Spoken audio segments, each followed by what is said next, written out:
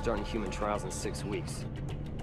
You will be testing this, our new chemo drug. You'll inject the virus into the tissue cultures. The particular strain of Merkel cell polyomavirus that we've developed here causes accelerated tumor growth.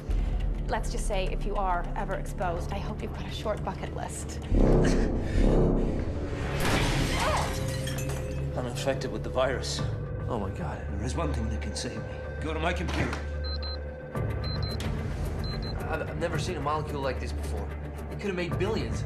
We already make billions. If the cure for cancer was ever released. No one would need our chemo drugs. What are you doing? I am releasing it. I've got a job for you and your team. This has got to look like an accident. It's the virus outbreak alarm. In less than five minutes, the virus will disperse through the entire building. They're not the hazmat team. We gotta get out of here. Whatever happens, don't turn back. No, Ryan!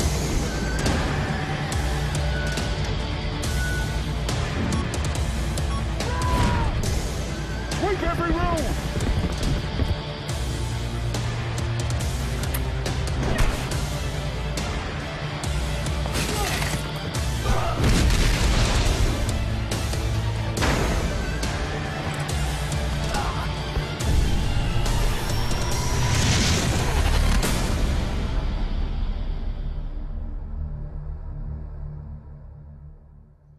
Reynolds.